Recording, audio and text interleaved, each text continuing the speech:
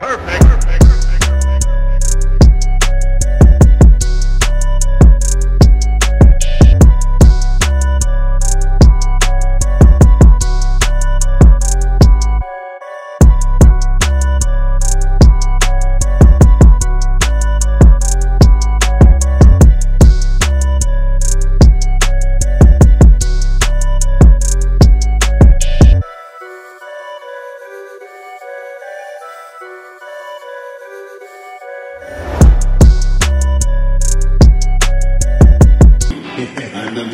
Biggest and the best bodybuilder in the world. I was born to win.